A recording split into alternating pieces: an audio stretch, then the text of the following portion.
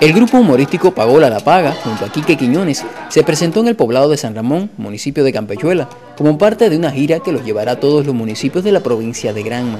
Bueno, esto es un espectáculo que se decide hacer con la empresa de cine por los 13 municipios de la provincia de Granma, aprovechando el 24 aniversario de Pagola La Paga y invitado Quique que en los últimos años hemos estado muy vinculados. Un espectáculo muy cubano, muy actual, muy musical, por supuesto, porque está eh, la presencia del grupo, y eh, donde yo me inserto como uno más dentro de todo el, formato, eh, haciendo también, por supuesto, momentos míos solos y después compartiendo la escena con el resto del grupo.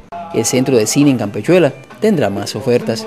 Tendremos también este mismo espectáculo ya en la cabecera municipal, precisamente en nuestro Cine Duaba, el viernes día 30 a las 9 de la noche. Pero las actividades no se acaban. El domingo también tenemos la presentación del humorista Mustelier, muy conocido también y de primer nivel. Lo tendremos a las 6 de la tarde en el Cine Duaba y a las, a las 9 de la noche aquí en San Ramón. Y bueno, ya a mediados de mes, eh, precisamente el día 16, tendremos la presentación de Pantera, se, va a presentar a las 6 de la tarde en el Cine Duaba y lo tendremos entonces aquí en San Ramón a las 9 de la noche. La presencia de estos reconocidos artistas asegura el deleite como un digno regalo del Centro Provincial de Cine a los granmenses antes que concluya el año. Manuel Palomino, Sistema Informativo de la Televisión Cubana.